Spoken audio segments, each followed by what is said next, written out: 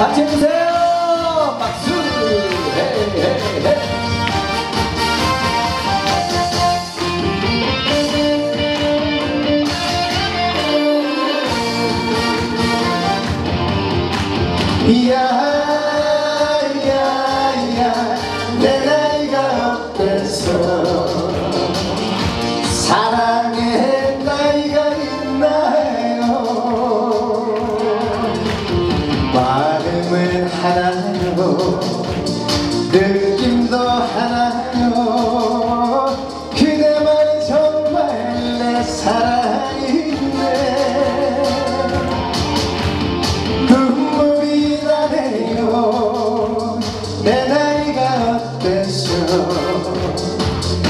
사랑하기 딱 좋은 나이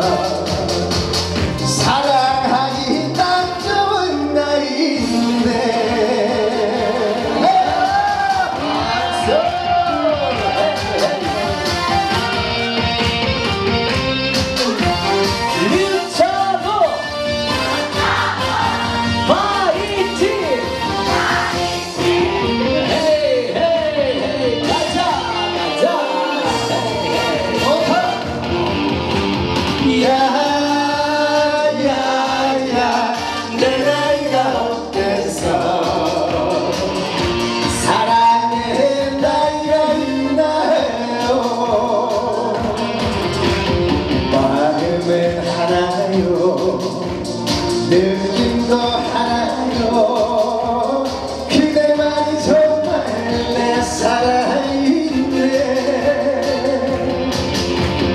눈물이 나네요.